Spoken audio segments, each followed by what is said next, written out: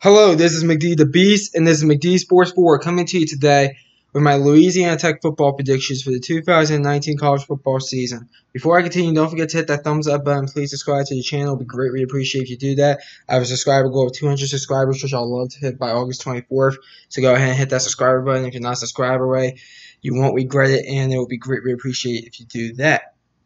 Louisiana Tech will go through the pros and cons, best case, worst case scenario three toughest, three easiest games. Then we'll go through the schedule game by game. I'll tell you which games that Louisiana Tech winning and losing. Give you a score for each, for um, each one as well, and then give you a final record prediction and conference record prediction. A quick note before I continue. Don't hold me to the game by game picks and the scores. Just hold me to the final record predictions at the end.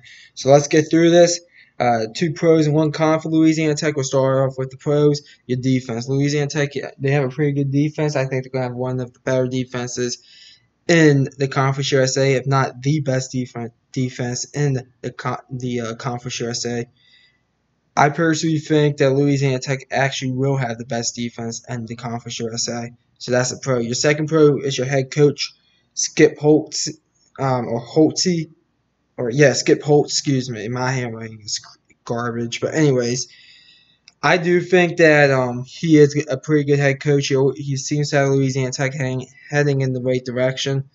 So I do think he's a head coach. I do think that's a pro for Louisiana Tech. You want con is the schedule. This is a tough schedule. I mean, on the road against Texas, then FIU. You do get FIU at home. I mean, you have to you get North Texas at Marshall at UAB. So, Southern Miss at home won't be a give me either. I mean, this is a tough schedule and I'll talk about it more here in a second. Speaking about that second, we're at that second now. Best case and worst case scenario. Here's the schedule right here in front of you.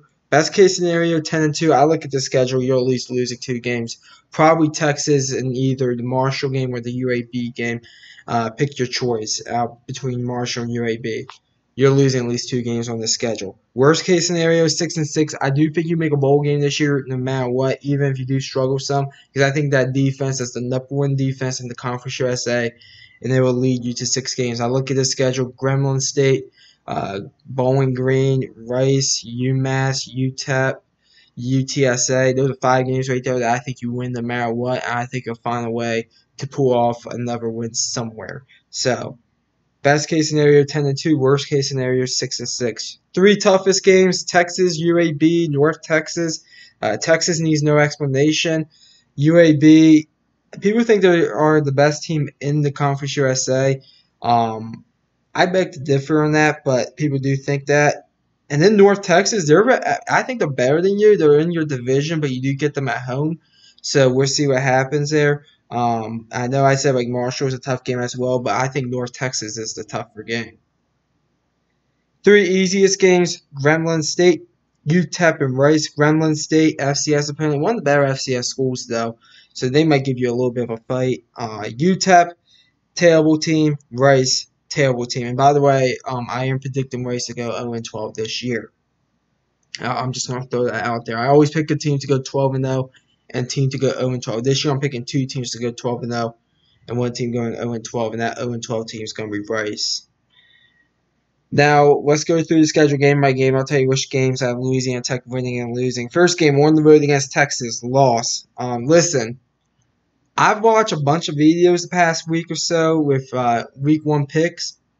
There's a few pick people. There's a few people picking this game as an upset. People are thinking you, you guys could possibly go into Texas, into Austin, and beat them. Now, I'm a Maryland Terps fan, and we did go into Austin two years ago and beat the brakes off them and we also beat them last year as well. So you do have that going for you. I have to go with Texas here. If it was Maryland, uh, no questions asked, I'll be going with Maryland. Texas. If it was Maryland versus uh, Texas, if I was doing the Maryland football predictions, I'm not picking Maryland to lose to Louisiana Tech, believe me. But Louisiana Tech, you guys are going to lose 34 to 14. Texas. Next game, Grambling State win They'll play you tough, but at the end, I have to give it to you guys 34 to 6, Louisiana Tech. Next game at Bowling Green, win. They're terrible, 40 to 13, Louisiana Tech. Next game, FIU at home. This is interesting. I think FIU. Um, I think it was a little bit of a fluke last year. I still think they're a decent team, but I think it was a little bit of a fluke last year. They came out of nowhere. I think you beat them. The game's at home, 26 to 10. Louisiana Tech. Next game at Rice, win 45 nothing. Then you get your first bye week. Coming out the bye week, UMass at home win 33 to 3. By the way, UMass football predictions are going to be out tomorrow. Yes, I have to do all the independents technically, so I have to do New Mexico State and UMass still. They're coming out tomorrow.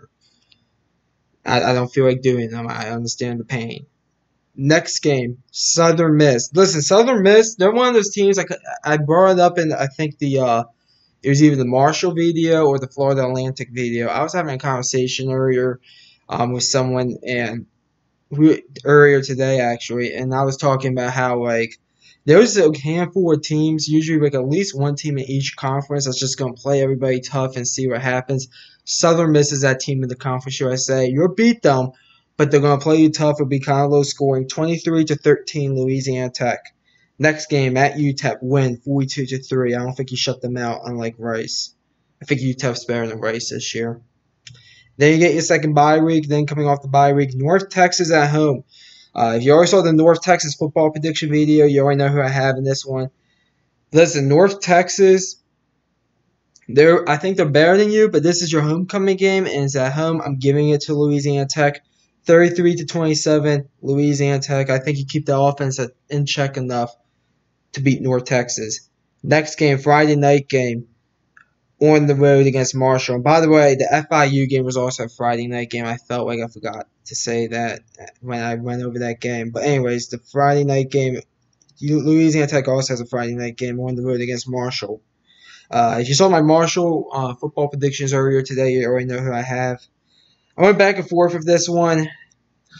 I think you're better than Marshall, but every year, a college football team wins a game that they're not supposed to win and loses a game they're not supposed to lose.